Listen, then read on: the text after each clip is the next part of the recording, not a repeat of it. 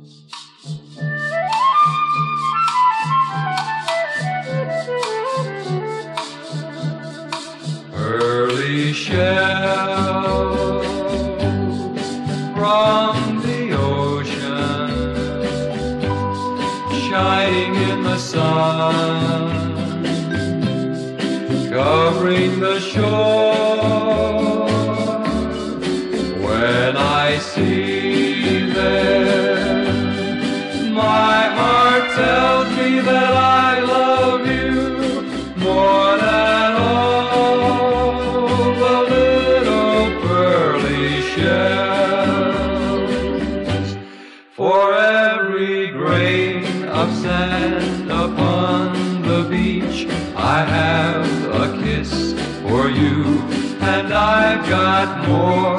Left over for each star that twinkles in the blue. Early shells from the ocean shining in the sun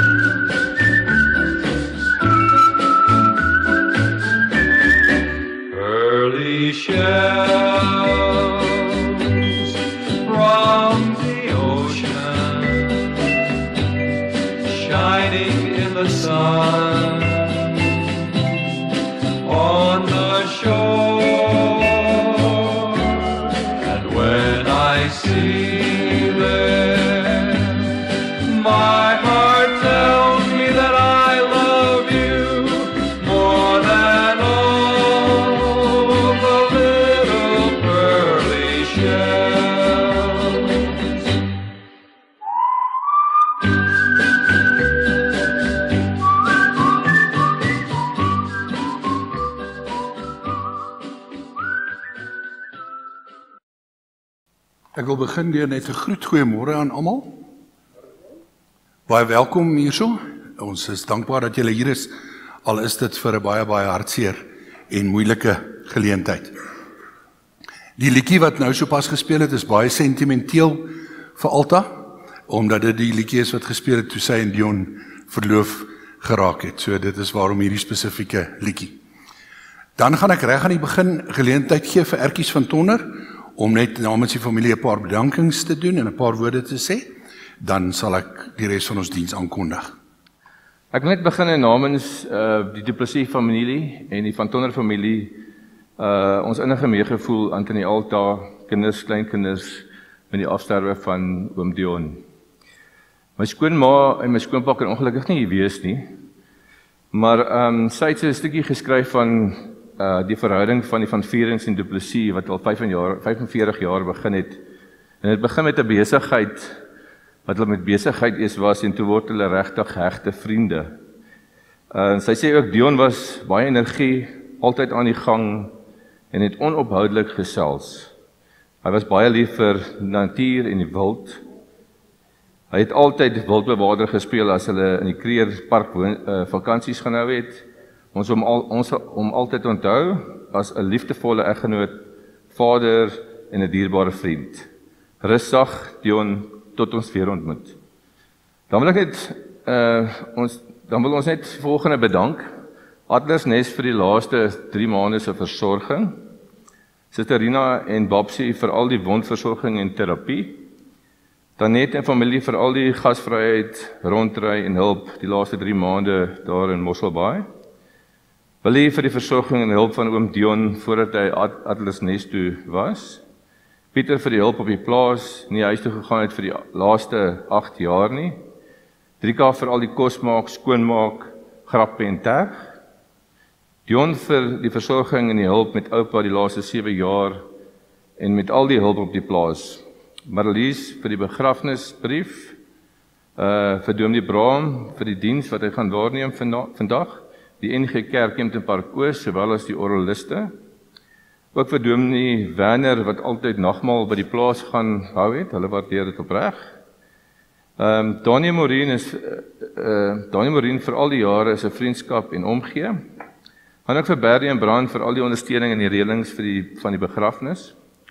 En al die vriende en familie wat simpatie, seëninge en boodskappe gestuur het. Dit word opreg waardeer. Dan net namens die kinders, skoonkinders en kleinkinders wil ons net vir ma ouma Alta baie dankie sê vir die versorging van pa oupa Dion die laaste 7 jaar. Baie baie dankie. Ek wil net uh, wil net eindig en namens die van vier vier en familie aan al wat vandag hier is en die wat op die stroomdiens is Uh baie dankie sê dat dit is 'n moeilike tyd met Covid. Die opoffering word reg waardeer. Baie baie dankie. Geliefdes, kom ons sit net so dan bid ons saam. Here ons God, natuurlik wil ons vandag begin in gebed om daarmee twee of drie dinge te doen. Die eerste is om ons absolute afhanklikheid van U te bely. Here net van U kom ons krag. Die tweede is om troos te kom soek. Ons wil bid dat U deur die Bybel en deur die werk van die Gees vandag vir hierdie familie en vriende 'n trooswoord sal gee. Iets om aan vas te hou midde in hulle hartseer. Here, dan wil ons saam met ons soeke vir troos ook dankie kom sê vir 'n baie besondere lewe. Dankie dat U vir Dion geseën het met die lewe self dat U hom begenadig het vir byna 77 jaar. Dankie dat U vir hom wonderlike mense in sy lewe gegee het wat sy lewe verryk het. Maar baie baie dankie ook vir wat hy vir elkeen gedoen en beteken het. Ons dank kom aan U toe vir hierdie spesiale kosbare mens. Amen. Geliefdes, ek weet dat dit uh, baie moeilik is. Intens hartseer is ook moeilik is om te konsentreer in hierdie omstandighede. Daarom gaan ek die gedeelte uit die Bybel wat ek lees baie kort hou. Ek lees uit Johannes hoofstuk 11.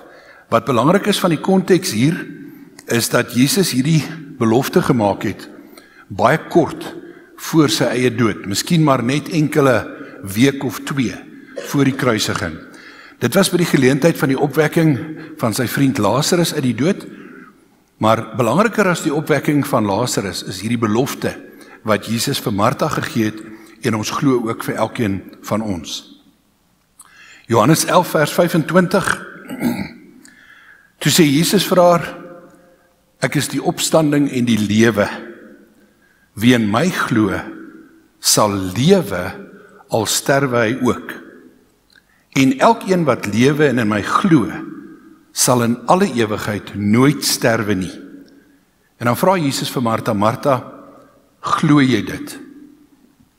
Ja, Here, sê sy vir hom. Ek glo vas dat U die Christus is, die seun van God, die een wat na die wêreld toe moes kom.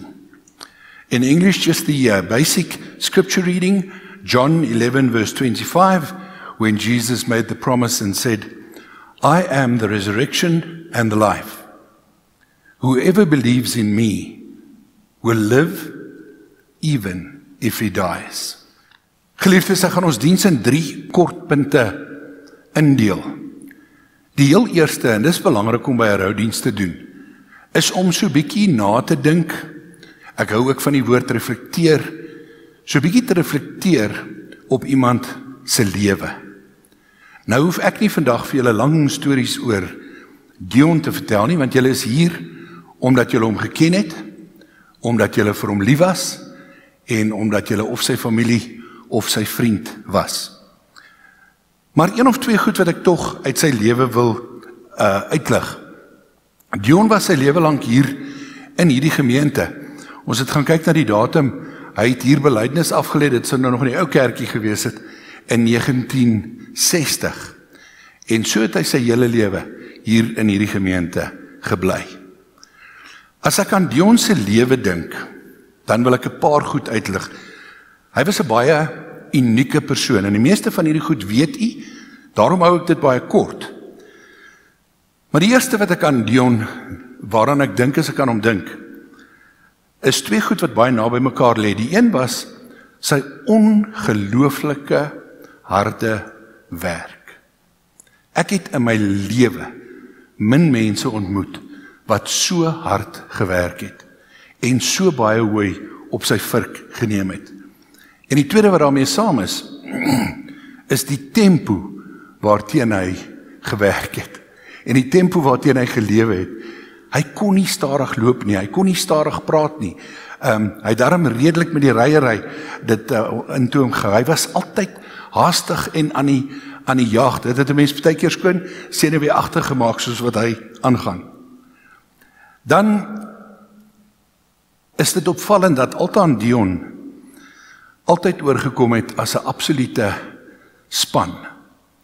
Of dit die melkery was of dit die besigheid met die plafonne was, wat ook al. Sy het die bestuurdeel gedoen en hy die fisiese harde werk, maar dit mekaar altyd aangevul. En daarom is sy verlies vir haar ook so moeilik omdat hulle heeltemal in mekaar in gegroei het. Hulle was nie soos twee mense wat maar net teen mekaar geleef het nie. Hulle het in mekaar in gegroei. En daarom is hierdie ontkoppelingsproses nou vir haar ook so moeilik. Dan die ons positiwiteit. Hy het net 'n manier gehad om altyd na die positiewe van die lewe te kyk.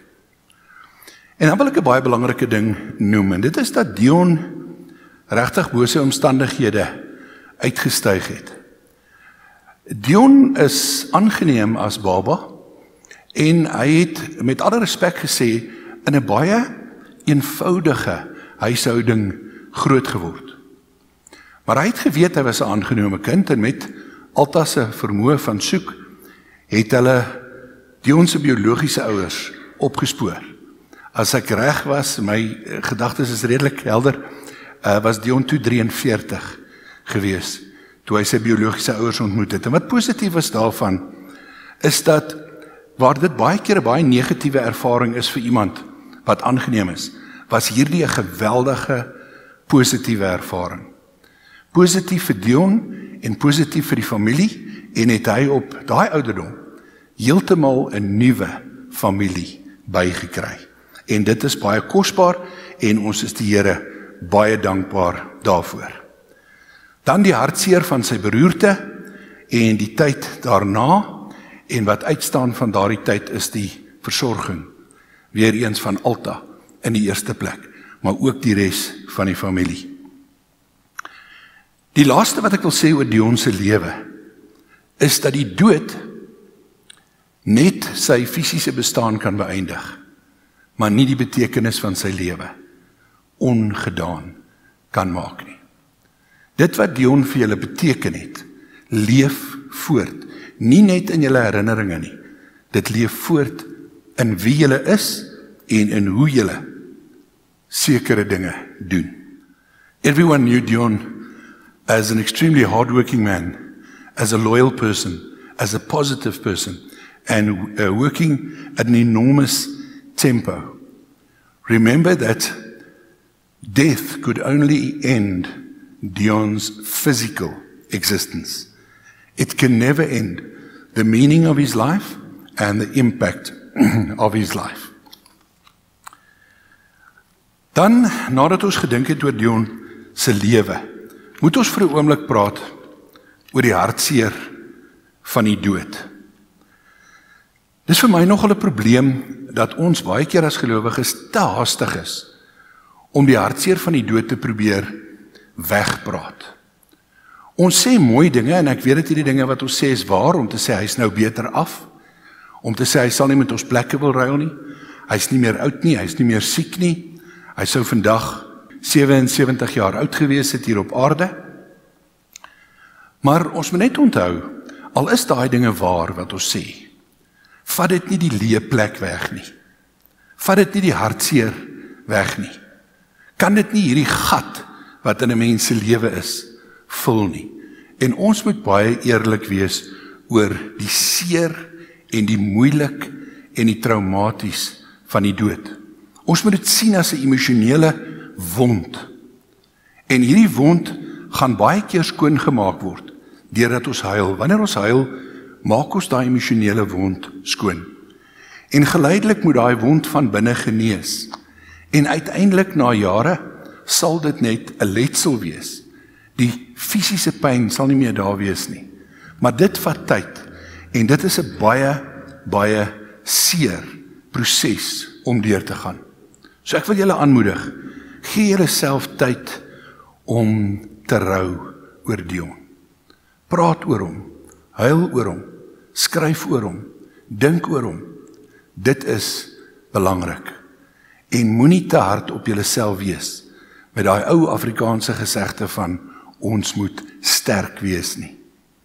Wanneer 'n geliefde sterf, is dit nie die tyd om sterk te wees nie. Dis die tyd om eerlik te wees. Our generation are spoilt because in our generation most things that go wrong can either be repaired or replaced. That's the way we live. We repair or replace. Death is one of the most important exceptions. When someone we love dies, there is no way to repair that. It cannot be fixed. And the person, in this case Dion, cannot be replaced. Therefore, we need to go through a process of mourning. We need to grieve our losses. Be kind with yourself, be patient with yourself during your time of grief. Geliefdes, ek het gesê drie dele. Ons het nagedink oor die ons se lewe. Ons praat oor die eerlikheid van die seer van die verlies en die hartseer van die dood. Maar dan moet ons in 'n derde plek vra: Is daar troos? Is daar hoop? Is daar iets om aan vas te hou? Dis tog waarom ons kerk toe kom met 'n roudiens. Ons kom nie net om die persoon se lewe te herdenk nie. Ons kom vra vir die Here in hierdie moeilike omstandighede, Here, wat sê U? Wat gee U vir ons om aan vas te hou? En dit is waar ons teksvers inkom. Jesus se belofte. Ek is die opstanding en die lewe. Wie in my glo, sal lewe ook al sterwe hy. Met ander woorde 'n belofte dat die lewe, die fisiese lewe tot 'n einde kom, maar dat ons lewe dan op 'n nuwe manier, op 'n geestelike manier voortgaan. Net soos wat 'n babietjie 'n 9 maande leeftydperk het in die baarmoeder, in daai beperkte klein wêreltjie en dan gebore word en 'n totale nuwe lewe het in hierdie groot wêreld. So gebeur dit dat wanneer ons sterf, beweeg ons ook uit hierdie dimensie net oor in 'n nuwe dimensie en dan is ons by die Here. Maar nou moet ons by 'n baie belangrike punt kom. Jesus het hierdie belofte gemaak. Ek is die opstanding en die lewe. Wie in my glo sal lewe ook al sterwe hy. Maar julle sal weet dat beloftes beteken eintlik niks totdat iemand daai belofte kan waarborg nie. Kom ons dink vir 'n oomblik. As Jesus hierdie belofte gemaak het van die lewe aan 'n kant die grens van die dood. Maar na sy kruisiging het ons nooit weer van hom gehoor nie of hom nooit weer gesien nie. Wat se krag sou hierdie belofte gehad het? Geen. Dan was dit maar net 'n belofte. Die belangrikste is dat Jesus na hierdie belofte, na sy kruisiging op die Sondagoggend vroeg uit die graf uit was en nie verdwyn het nie, maar begin het met 'n hele reeks van verskynings aan mense. En onthou dit was ook nie maar net sommer 'n bietjie hier en 'n bietjie daar en so meer nie. Jesus verskyn aan meer as 500 mense. Jesus verskyn oor 'n periode van 40 dae. Jesus gee mense die geleentheid om aan hom te vat om seker te maak dat hy lewe. En aan die einde van daai 40 dae dan verdwyn hy nie net nie, maar word hy lewend opgeneem in 'n wolk weer eens voor getuies. Jesus' promise, I am the resurrection and the life. Whoever believes in me will live even if he dies, is our greatest, greatest comfort. But I always emphasize that if it was only a promise, then it would, could have been an empty promise. But Jesus guaranteed his promise through the fact of his own resurrection. Jesus died on a Friday afternoon, more, more or less three o'clock. The burial was done hastily because it was almost time for the Sabbath to start. And then on Sunday morning, the grave was empty. But Jesus did not, did not just disappear. Jesus started with a, a series of presenting himself, showing himself to people, giving them the opportunity to touch him, to talk to him, to make sure that he is alive. And he appeared to more than 500 people, according to Paul, and he did that over a period of 40 days. And after the 40 days, he did not just disappear, but ascended to heaven. That is our comfort. That is what we hold on to. Alta kinders, familie, kleinkinders, mag die Here julle op 'n wonderlike manier midde in hierdie seer troos. Mag julle bewus wees daarvan dat hy julle vashou. Dat hy julle liefhet. Dat hy altyd by julle is. En mag julle aan Dion altyd dink in terme van iemand wat lewe omdat hy vasgehou het aan die beloftes van Jesus. Ek wil afsluit met drie baie kort opmerkings. Die eerste is koester julle mooi herinneringe en deel dit deel dit met mekaar. Hou vas aan die mooi wat julle oor die jare opgebou het in julle verhouding met Dion. Die tweede is 'n bietjie uitdagende vraag. En dit is wat se verskil maak my en jou lewe? Wat laat ons vir ander mense na in terme van die impak wat ons lewens op die mense rondom ons het. Wat en hoeveel is ons bereid om van onsself te gee vir mense? En hierin kan ons Jonas 'n voorbeeld gebruik van iemand wat onbaatsigtig homself gegee het. Die heel laaste punt, die derde is hoe sien ek my eie dood? Dis tog maar belangrik dat ons almal op 'n stadium vir onsself sal uitklaar of ons Jesus se belofte glo. Hierdie woorde ek is die opstanding en die lewe. Wie in my glo sal lewe al sterwe hy ook. Kan jy sê jy glo dit met jou hele hart? Dat jy vashou aan Jesus Christus as verlosser. Want dan dink mens anders ook oor jou eie dood. In closing Treasure your precious memories of Dion. The second is let, let us ask ourselves what is the impact that we have on other people? What is the meaning of our lives? Are we prepared to give ourselves? And for that, we can use Dion as a wonderful example. And then finally, how do I envisage my own death. If I hold on to Jesus Christ as the Lord and Savior, as the one who conquered death, as the resurrected Son of God, then I can have the perspective that my own death will only be a mere crossing over from one dimension to another dimension. And in that dimension, we will be with God and we believe with our loved ones. Amen. Dan wil ek die ehm um, 'n briefie uit die hemel wat 'n mooi gedagte is wat op die program afgedruk is, lees en dan die begrafnisbriefie.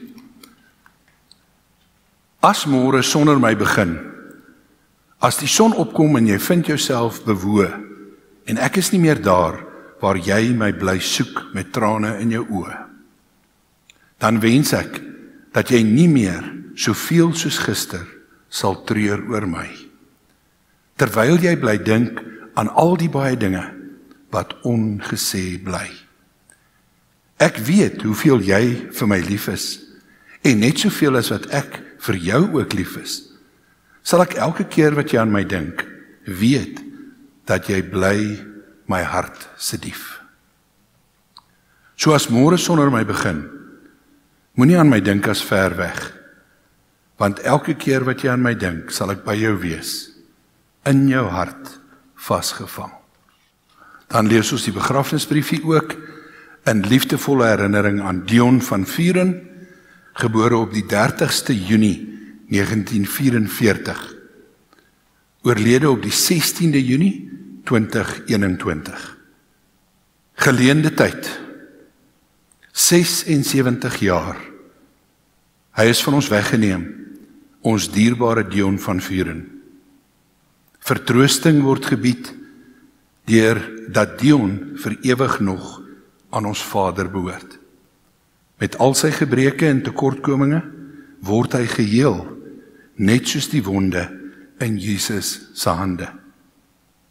Ons gaan jou ontsettend baie mis tot ons ontmoet in hiernamaals.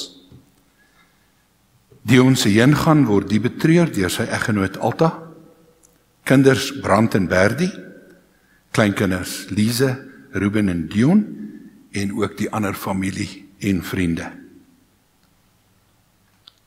Geliefdes, terwyl jy net so bly sit, gaan ek 'n kort gebed doen en die seën uitspreek. Here baie dankie vir u woord. En nou wil ons hulle almal, maar veral die naaste familie aan u opdra vir hierdie lang en moeilike en hartseer pad vorentoe van herstel en genees van deur die rouproses werk. Ons bid dit hulle elke dag u teenwoordigheid u troos sal ervaar dat u binne in hulle sal werk. Here ons bid vir hulle vir elke sensitiewe datum wat voorlê waar hulle hom intens sal mis. Gaan met elkeen asseblief. Ons gebed is in afhanklikheid van u en op grond van die soenverdienste van Jesus Christus. Amen. Geliefdes, die genade van die Here Jesus Christus, die liefde van God ons Vader en die seënende teenwoordigheid van God die Heilige Gees bly by jou. Amen.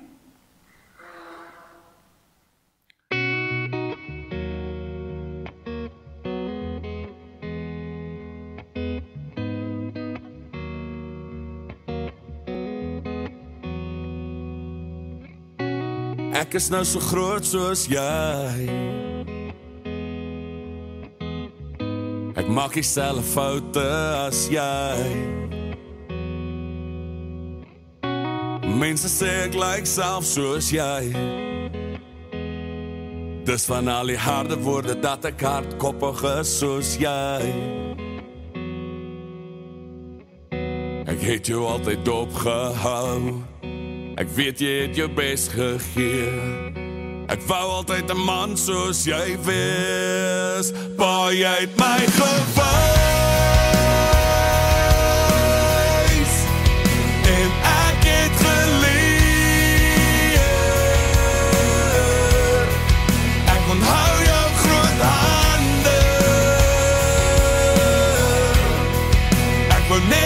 Soos jy wees. Waar jy het my gewys.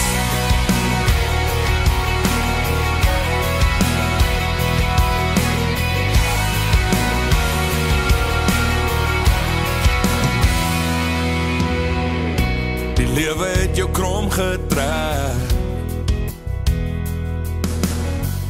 Die bewyse lê so diep in jou oë.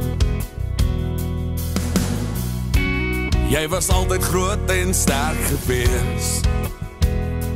Nou het al die harde jare my en jou tyd ook kom steel.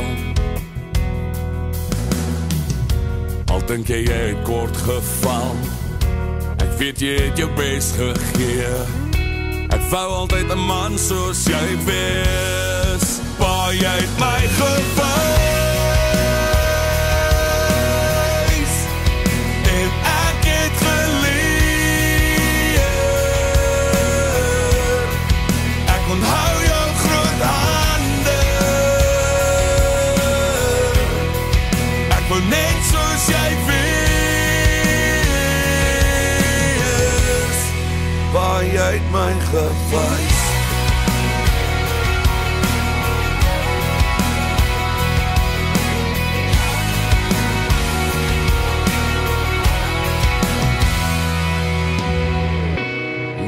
Ek so groot soos jy. Ek maak dieselfde foute as jy.